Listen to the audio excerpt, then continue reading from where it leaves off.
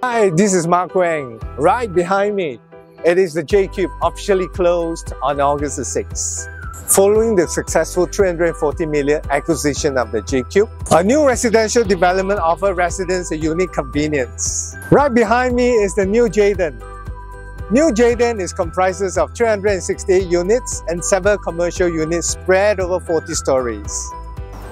Expected to TOP in 2027, the new J'Den is in line with the Grand Master Plan to transform Jurong Lake District into Singapore's largest business zone outside city centre.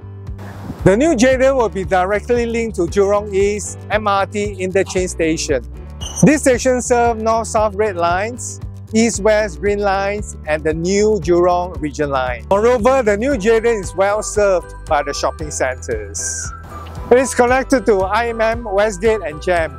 There are five primary schools in the vicinity of J'Den. Yuhua Primary and Fuhua Primary are within 1 kilometers radius. Bukit View Primary, Jurong Primary, Princess Elizabeth Primary are within 2 kilometers of J'Den. Here are three main reasons why you should not miss J'Den. Firstly, J'Den is developed by renowned developer CapitaLand.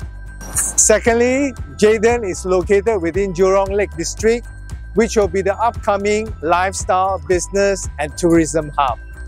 This gives J'Den immense investment potential.